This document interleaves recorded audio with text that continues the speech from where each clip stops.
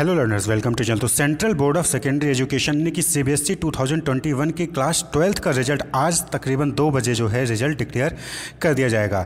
तो अभी तक आपने अपना रोल नंबर अगर नहीं चेक किया तो आप यहाँ पे चेक कर सकते हैं। अगर आप क्लास टेन के हैं तो क्लास टेन पर क्लिक करेंगे। क्लास ट्वेल्थ के हैं तो क्लास ट्वेल्व पर टिक करेंगे।